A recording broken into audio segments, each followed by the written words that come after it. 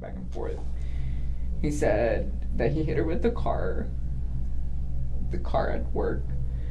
And I asked him, well, where is there any signs that you hit her or what? And then he said that it was because of the grill. That no, there was no signs. And then I'm like, so what did you do with the body? What? And he's like, I hit her. Mate, you're under arrest. Come out. Come out of your dress. Keep walking towards me. Keep walking towards me. Stay where you are. Stay where you are. Stay where you are. Hands on your head. Stay where you are. Face me. 23 yaşındaki Kaylee Sawyer, 2016 Temmuz'da arkadaşıyla birlikte bir bara gitti.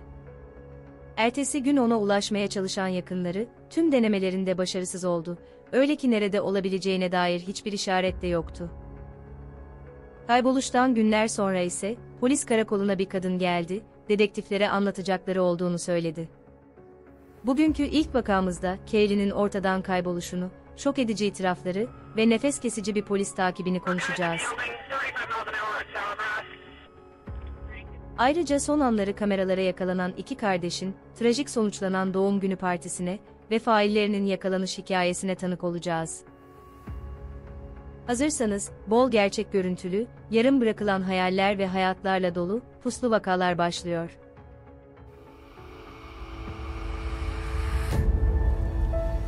Bir YouTube klasiği olarak kanala abone olup videoyu beğenmeyi unutmayın. Kaylee Sawyer, 2 Mart 1993 tarihinde Oregon eyaletine bağlı Bend şehrinde doğdu. Zeki, esprili ve hayat dolu genç bir kadın olan Kaylee, aynı zamanda bir amigo kızıydı ve zamanını doğayla iç içe geçirmekten hoşlanırdı. Ebeveynleri boşanmış olmasına rağmen hem anne ve babasıyla hem de üvey ailesiyle yakın ve sıcak ilişkiler içindeydi. Diş hekimi asistanı olarak iki yıl çalıştıktan sonra, diş hekimliği okumak için üniversiteye gitmeye karar verdi. Uzun süredir birlikte olduğu, erkek arkadaşı Cameron ile birlikte yaşıyordu ve ikili kısa süre sonra nişanlanmayı planlıyordu. 23 Temmuz 2016 Cumartesi gecesi, Kaylee bir bekarlığa veda partisine katıldı. Aslında günler öncesinde katılamayacağını belirtmiş, ancak parti günü katılma kararı almıştı. Gecenin sonunda alkollü olacağı için, arabasını bir arkadaşının evine park etti ve partiye doğru yola çıktı. Saatler boyunca dans edip eğlendikten sonra, bir arkadaşıyla geceyi başka bir barda sonlandırmaya karar verdi. Öyle ki sonlanan tek şey gece olmayacaktı. Ertesi sabah güne başlayan Cameron, Kaylee'nin ebeveynlerinden gelen mesajları fark etti, kızlarının nerede olduğunu soruyorlardı. Cameron ise geceden beri Kaylee'den haber alamadığını, ona ulaşmaya çalıştığını ve tüm ortak arkadaşlarını aradığını söyledi. Ailesinin de ondan haber alamadığını öğrenen Cameron, telefonu kapattıktan sonra endişeyle 911'i aradı. Dispatch, how can I help you? Hello? Hi. Um, I'm not sure if this is quite the right number to call. Last night I got home from the bars with my girlfriend, and she got upset at me and ran off. Mhm. And I chased her and wasn't able to find her, and I still haven't heard from her. Her phone's off. I called all her family, and they haven't heard from her, so I'm wondering what you recommend I do.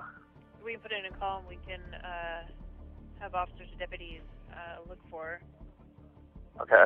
And uh, where was she last seen at? Um, College Way. College and what? Cameron ile Kaylee, en son akşam 10.30 civarında, partiden ayrıldıktan sonra görüşmüştü. Kaylee ile aynı barda bulunan bir arkadaşı, onun başka bir erkekle dans ettiğini Cameron'a bildirdi.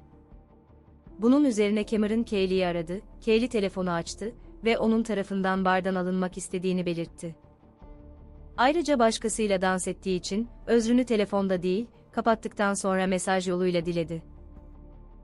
Yola çıkan Cameron barın önüne geldi ve Kaylee onun arabasına atladı, bir apartman kompleksinin otoparkına geldiler, şiddetli bir tartışmaya girdiler. Tartışma sırasında Cameron, Kaylee'ye dışarı çıkıp sakinleşmesi gerektiğini söyledi, daha sonra da kendisi arabadan indi. Kaylee ortalıkta yoktu, otoparkın her yerini aradı ancak bulamadı ve ona eve gelmesi için mesajlar gönderdi. Ertesi sabah olmuş, Kaylee henüz eve dönmemişti, bunun üzerine Cameron arkadaşının evine gitti ve Kaylee'nin arabasının hala orada olduğunu gördü.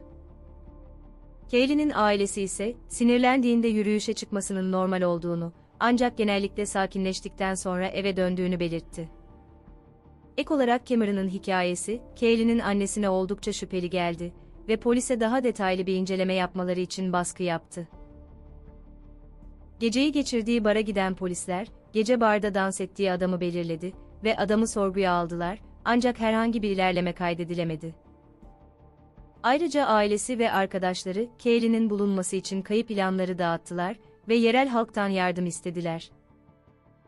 Bu arada polis olduğunu iddia eden bir kadın, Redmond Polis Karakolu'na geldi ve oradaki dedektiflerle konuşmak istediğini belirtti. Isabellara, bir yıl önce Bent Polis Departmanı'na katılmıştı, anlatacakları ise soruşturmanın seyrini değiştirecekti. Polis memuru Isabel'in eşi, 31 yaşındaki Edwin Lara olarak tanımlandı. Ceza adaleti alanından mezun olan Edwin, polis memuru olmak için eğitim alıyor, aynı zamanda güvenlik görevlisi olarak çalışıyordu. Görev yaptığı yer ise, Kaylee'nin evine yalnızca birkaç dakika uzaklıkta bulunan Central Oregon Community College'iydi. Edwin'in çalışma saatleri sürekli değişiklik gösterse de, olayın yaşandığı cumartesi günü 3'te işe başlamış ve gece yarısından sonra mesaisi sona ermişti.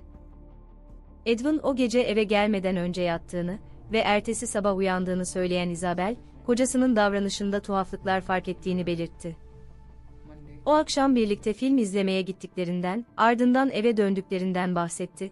Ertesi sabah uyanan Edwin, uzun süredir içinde bulunduğu rahatsızlığın nedenini açıkladı. Edwin Isabel'e, ben bir kadını öldürmüş olabilirim dedi, karısı ise şaşkınlıkla bunun nasıl olduğunu sordu. He said that he hit her with the car, the car at work. And I asked him, well, where is there any signs that you hit her or what? And he said that it was because of the grill. That no, there was no signs. And then I'm like, so what did you do with the body? What? And he's like, I hit her.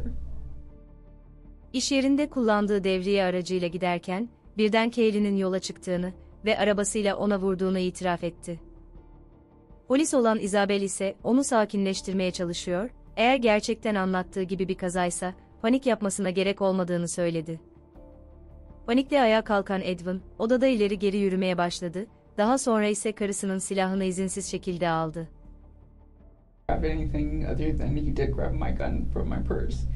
And then he just kept saying, I, I need to go, I need to go.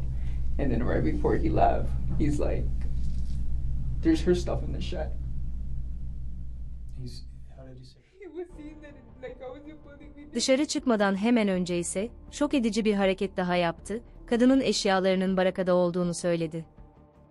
Tüyler ürpertici itiraftan sonra, hızla bir arama emri çıkarıldı ve çiftin evine bir dedektif ekibi gönderildi. Arka bahçedeki bir barakada, Kaylee'nin kan izleri bulunan yeşil çanta, pasaport ve çeşitli eşyaların bulunduğu bir çöp torbası bulundu. Ek olarak torbanın dibinde, sarı saç telleri ve kan izleri bulunan bir taş parçası bulundu.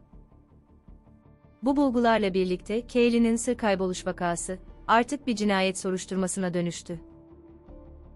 Hızla aksiyon alan Redmond Polis Departmanı, silahlı ve kaçmakta olan faili yakalamak için geniş çaplı bir insan avı başlattı. Aynı günün akşamında ise 19 yaşındaki Andrea Mays, iş yerindeki mesaisini tamamladıktan sonra aracına bindi. Yolculuğa başlamadan önce çektiği selfie'yi sosyal medya hesabında paylaştı, sonrasındaysa yolcu koltuğundan bir ses duydu. Elinde tabanca ile araca binen kişi, polislerin peşinde olduğu Edwin Lara'ydı. Andrea'ya işlediği cinayetten bahsetti ve ona arabayı sürmesini emretti. İlk başta bir şaka olduğunu düşünen Andrea, Edwin'in oldukça ciddi olduğunu fark etti. Artık talimatlara uymaktan başka çaresi yoktu. 3 saatlik bir sürüşten sonra, Andrea'ya bir motelde durmasını emretti ve eğer kaçmaya çalışırsa onu vuracağını söyledi. Çaresiz olan Andrea ise, Edwin'in kız arkadaşı gibi davranmak zorunda kaldı ve motele giriş yaptılar. Motelde duş alan Edwin, tüm bu süre boyunca Andrea'yı yatağa kelepçeledi ve uyuması için ona uyku hapları verdi. Cinsel saldırıya uğrayacağından korkan Andrea'nın, bir süre sonra telefonundaki alarm çaldı. Edwin ise bu saatte niye çaldığını sordu. Cinsel yolla bulaşan hastalıklar için günlük ilaçlar aldığını söyleyen Andrea, bu yüzden hatırlatıcı ayarladığını söyledi ve Edwin'i yanından uzak tutmayı başardı. Ertesi sabah ikisi motelden ayrıldı ve arabayla Kuzey Kaliforniya'ya doğru yola çıktılar. Arabanın istop ettiği bir motelin otoparkında, Edwin arabasında oturan bir adamı da kaçırmaya çalıştı. Adamın çığlıkları üzerine silahını ateşledi. Andrea ile yola devam eden Edwin, onu yakınlardaki bir akaryakıt istasyonuna götürdü ve orada bir araç içinde oturan, yaşlı bir kadın ile iki torununu fark etti. Silahını büyük olan toruna doğrultarak, ona arabayı sürmesini emretti. Bu şekilde Andrea'yı, kadını ve iki torununu rehin alarak birkaç kilometre gittiler. Daha sonra ise Edwin, aileyi yol kenarına bırakarak olay yerinden uzaklaştı. Rehin alınan aile hemen 911'i aradı ve yaşadıklarını yerel polise aktardı. Yolculuğun bir noktasında Edwin, Andrea'dan telefonunu istedi. Daha sonra telefonunu kullanarak garip bir video kaydı almaya başladı. Hi, everybody. Um, I just want to say that I apologize for everything I've done. Most likely, I'm to get caught. And um, sorry about that girl, about that girl in Central Oregon. And I also want to let family members, uh, Andrea, that she's fine and she will be fine because uh, so far she's been doing uh, what I've been told her to do. You know, and, and if you guys are wondering uh, if I have done dirty things to her, no. All right, I'm not that kind of guy. You know, I just Andrea'ya telefonunu geri veren Edwin, bu videoyu Facebook üzerinden paylaşmasını istedi, şöhret amacı taşıdığı da böylelikle kanıtlanmış oldu. O esnada Edwin, polisler tarafından otoyolda takip ediliyordu, olumsuz bir durumda acil müdahale için hazırlardı. Takip edildiğinden habersiz olan Edwin, 911'i tuşlayıp hikayesini anlattı. Emergency reporting.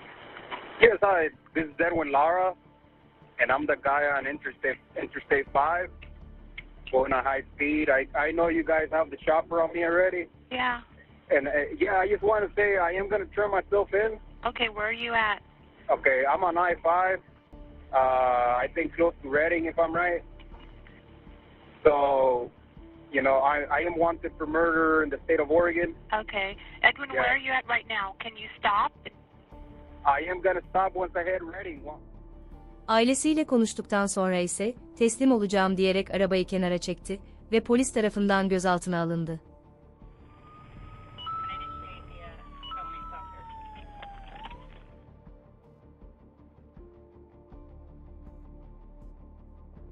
Sürpriz bir şekilde Andrea da tutuklanıp gözaltına alınanlar arasındaydı. Daha sonra rehin alındığı doğrulandı ve serbest bırakıldı. Sorguya alınan Edwin'dan neler yaşandığını anlatmasını istediler. Polisin ilk önceliği Kaylee'nin kalıntılarını bulmaktı. Uh, we have not been able to find Kaylee's body. Can you please uh, help me find her body immediately before we start talking about anything else? Um, Dedektifler Edwin'ı sorgulamaya devam ediyordu. Başlangıçta karısı Isabel'e, Kaylee'yi devriye arabasıyla öldürdüğünü söylemişti ve dedektiflere de aynı hikayeyi anlattı. Dedektiflerin ise emin olduğu tek şey, karşılarında bir yalancı olduğuydu. Çünkü araçta ve yolda incelemeler yapılmış, herhangi bir kaza izine rastlanmamıştı. Daha sonra Edwin hikayesini değiştirdi ve Kaylee'yi bir fahişe olduğunu düşünerek aldığını iddia etti. Bir noktada yalan ifadelerine son veren Edwin, sonunda itiraf etti ve o gece tam olarak neler yaşandığını anlattı. Devriye arabasıyla gezerken, Kaylee'yi üniversitenin yakınında tek başına yürürken gördü ve onu evine bırakmayı teklif etti. Kampüs güvenlik devriyesinin geceleri öğrencileri evlerine bırakması yaygın bir uygulamaydı. Ancak Kaylee onun arabasına binmeyi reddetti. Bunun üzerine Edwin arabadan indi, Kaylee ise yaklaştığını görünce çığlık atmaya başladı. Panik yapan Edwin Kaylee'ye saldırdı ve Kaylee baygınlık geçirdi, daha sonra aracın arka koltuğuna bindirdi ve tenha bir otoparka gittiler. O esnada Kaylee bilincini geri kazandı ve saldırganından kaçmaya çalışıyor, çevredekilerin duyması için çığlık atıyordu. Bir kez daha saldıran Edwin, onu arabadan indirip bir ağacın arkasına sürükleyecekti ama öncesinde yapacağı vahşice bir hareket vardı. Orada bulduğu bir kaya parçasıyla, can çekişmekte olan Kaylee'nin kafasına vurdu ve trajik bir şekilde hayatına son verdi. Edwin Lara, araba hırsızlığı, ağırlaştırılmış cinayet ve birçok suçlamadan dolayı tutuklandı. Medya bu davaya fazlasıyla ilgi gösterdi. Savcıların ölüm cezası istemesiyle Edwin ifadelerini değiştirdi ve avukat hakkını kullanacağını, avukatıyla görüşene kadar kendisine başka soru sorulmamasını söyledi. Yargıç Edwin'in bu talebini kabul etti ve itirafın kabul edilemez olduğuna karar verdi. 6 saatlik itirafının tümü iptal edildi. Öyle ki duruşmada çok sayıda inandırıcı kanıt vardı. Bunlar arasında karısının röportajı ve en önemlisi olay yerinde bulunan DNA'sıydı. Kaylee'nin ailesi ise ölüm cezasının ortadan kaldırılmasını bir şartla kabul etti. Ömür boyu hapis cezasına çarptırılmasını istediler. 2019 Nisan'da mahkemeye çıkan Edwin, şartlı tahliye ihtimali olmaksızın ömür boyu hapis cezasına çarptırıldı. Ayrıca Andrea Mace ile eyalet sınırlarını geçtiği için bir kez daha ömür boyu hapis cezasına çarptırıldı.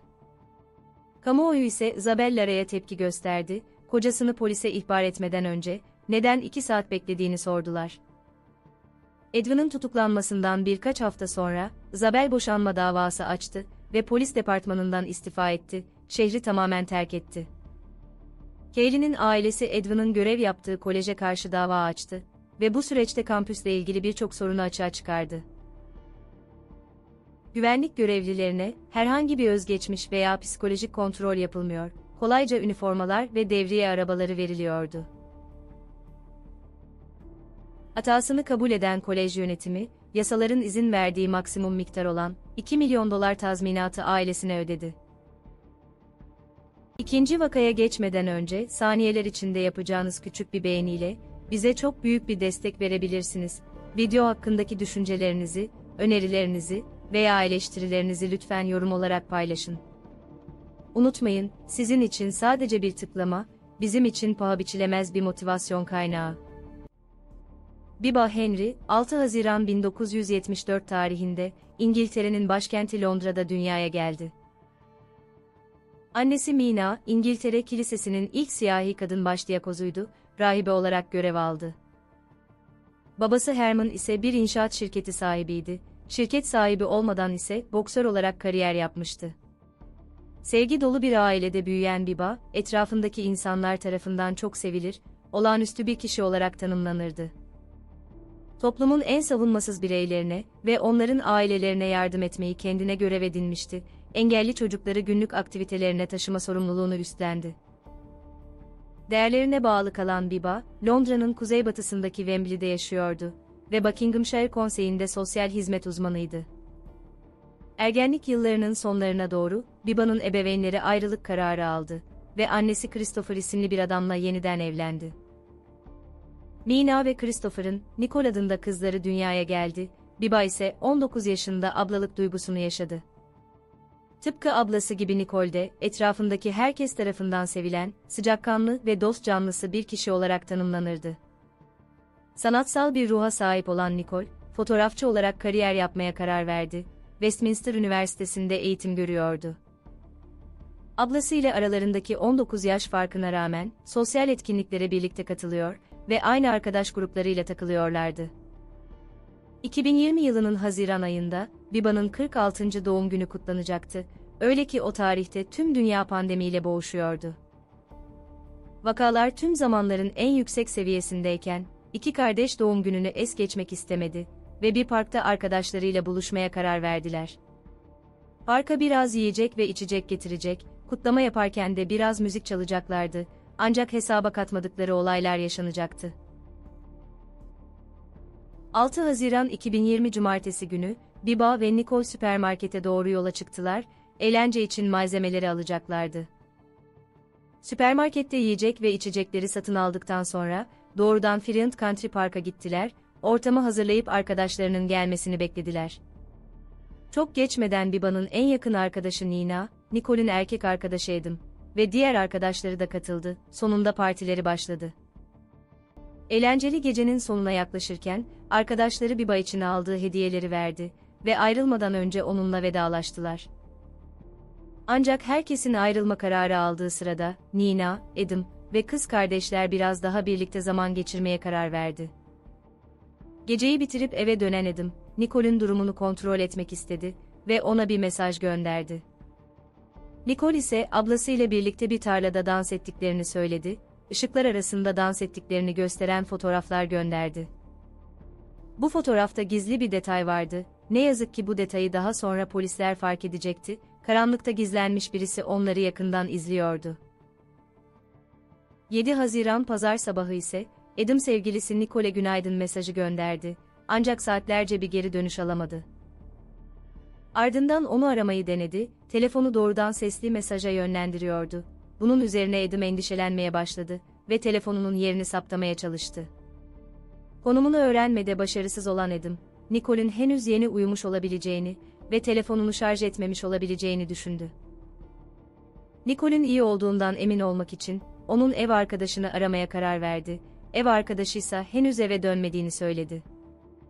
Arkadaşlarını ve ailesini arıyor, ona dair bir ipucu arıyordu. Ancak kimse onların nerede olduğunu bilmiyordu.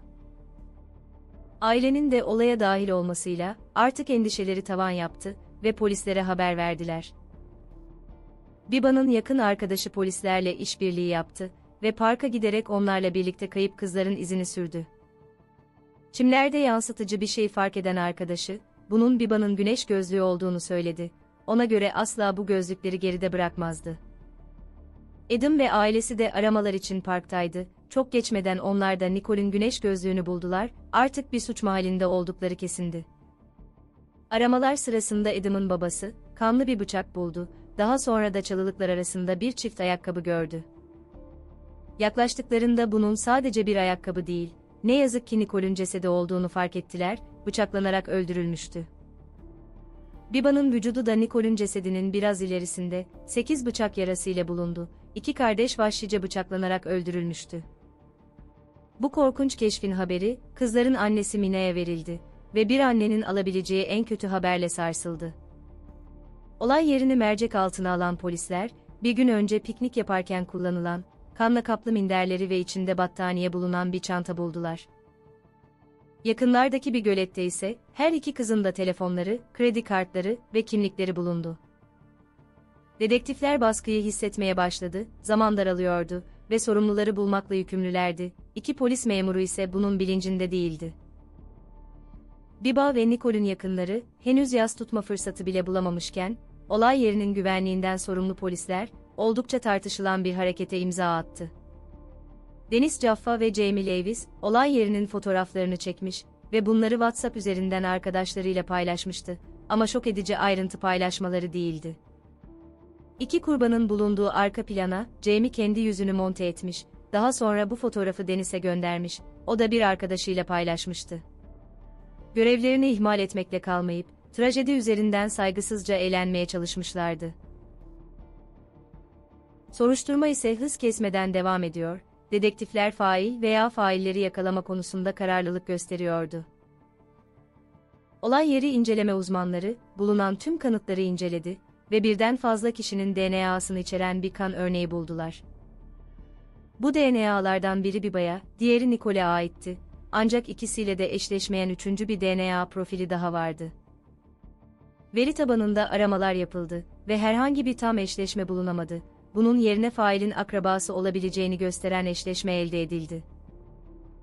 Böylelikle şüpheliler listesi büyük ölçüde daraltıldı, ekipler bu kişinin aile üyelerini yakından izlemekle görevlendirildi. Her bir aile üyesinin cinayet günlerine kadar olan hareketlerini incelediler, özellikle bir kişi dikkatlerini çekti. Cinayetlerden sadece 3 gün önce 18 yaşındaki bir adam, o öğleden sonra bir süpermarkette görülmüştü. Birkaç dakika sonra kasada görünen adamın, elinde bir mutfak bıçağı seti olduğu tespit edildi. Satın alınan bu bıçakların, cinayette kullanılanlarla aynı türde olduğu açıklandı, daha sonra failin adı da belirlendi. Daniel Hussein adındaki bu genç, Londra'nın kenar mahallelerinden birisinde büyümüştü ve dört kardeşin en büyüğüydü. Komşularıyla görüşen dedektifler, Daniel ailesinin zor zamanlar geçirdiğini, Daniel'ın ergenliğinde evden sık sık çığlıklar duyulduğunu belirttiler. Daniel'a otizm spektrum bozukluğu teşhisi konulmuştu, bu da sosyal ilişkilerinde zorluklar yaşamasına neden oldu. Soruşturmayı yürüten dedektifler, Daniel'ın babasının evinin, cinayetlerin işlendiği parka yalnızca birkaç dakikalık mesafede olduğunu keşfettiler. Cinayetlerden neredeyse bir ay sonra, katilin kimliğini tespit ettiklerine ikna oldular, arama emrini uygulamak, ardından tutuklama yapmak için gereken her şeye sahiplerdi. You're under arrest. Come out. Come out the address. Keep walking towards me. Keep walking towards me. Stay where you are. Stay where you are. Stay where you are. Hands on your head. Stay where you are. Face me. Hands. Daniel tutuklandığında sağ elinde kesikler ve dikiş izleri fark edildi. Kesiklerin derin ve yakın zamanda yapıldığı açıktı. Evinde yapılan aramalarda lateks eldivenler, bir kar maskesi ve bir kürek bulundu. Yatak odasında ise cinayet sebebini açıklayabilecek tuhaf ve rahatsız edici nesneler keşfedildi. Genellikle ritüellerde kullanılan, doğaüstü güçlere sahip olduğuna inanılan çeşitli mühürler bulundu. Bu mühürler büyü yapmak ve şeytan çağırmak için kullanılıyordu. Ayrıca korkunç suçun ardındaki amacı açığa çıkaran, el yazısıyla yazılmış bir sözleşme parçası bulundu. Sözleşmede Daniel'ın, özgür olduğu sürece kendine kurban kadınlar seçeceği ve 6 ayda bir cinayet işleyeceği yazıyordu. Bunun karşılığında ise ikramiye kazanacağı, fedakarlıkları karşılığında zenginlik ve güç gibi ödüller alacağı taahhüt edilmişti. Sözleşmenin altında ise Daniel'ın kendi kanıyla imzası bulunuyordu. Ayrıca evde 3 piyango bileti de bulundu. Büyük ikramiyenin 442 milyon dolar olduğu dönemde, Daniel internet üzerinden çok sayıda bilet satın almıştı. Ayrıca bir iblisle yapılmış başka bir sözleşme bulundu. Kendisine aşık olmasını istediği bir kız vardı. Onun adına tütsü yakmış, ritüeller yapmıştı.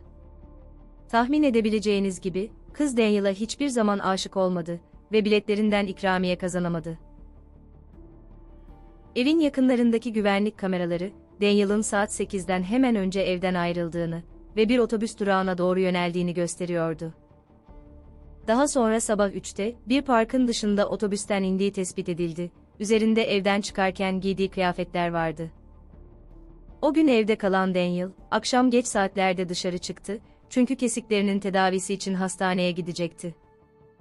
Hastane personeli yaraların nasıl olduğunu sordu. Daniel ise bir grup adamın saldırısına uğradığını, ancak bunu polise bildirmeyi reddettiğini söyledi. Tutuklanan Daniel Hussein, iki ayrı cinayet ve yasa dışı bıçak bulundurmakla suçlandı. Tutuklanmasının ardından polise, Asperger sendromu olduğunu ve hafızasında sorunlar yaşadığını söyledi ve herhangi bir soruyu yanıtlamayı reddetti.